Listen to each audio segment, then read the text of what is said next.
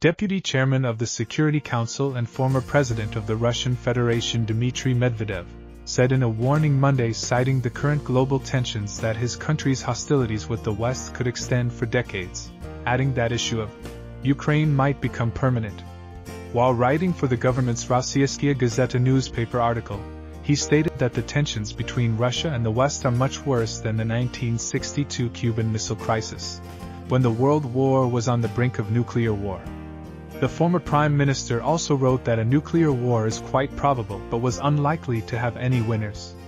The 57 year old Medvedev had been reiterating that Western military and financial support to Ukraine could increase the chances of nuclear war.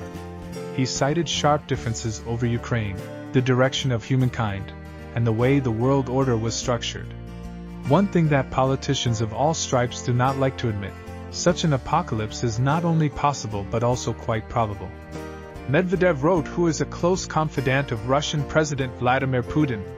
According to Western analysts, Medvedev's nuclear saber rattling was a tactic aimed at frightening the West to reduce military support for Ukraine and to instead lean on Kiev to start peace talks with Moscow.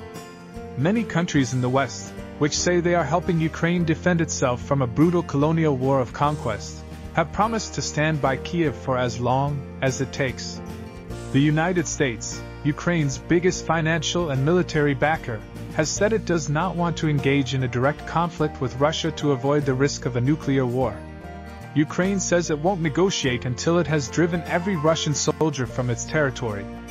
Medvedev said Moscow was still committed to stopping Ukraine join NATO, our goal is simple to eliminate the threat of Ukraine's membership in NATO. And we will achieve it. One way or another. He said. Given NATO's rule about not admitting countries entangled in territorial conflicts, he said the conflict with Ukraine could become permanent, given its existential nature for Moscow. The only way to de escalate tensions between Russia and the West was to enter into tough negotiations, he said. Medvedev said. The confrontation will be very long, and it is too late to tame the recalcitrant West. The confrontation will last for decades.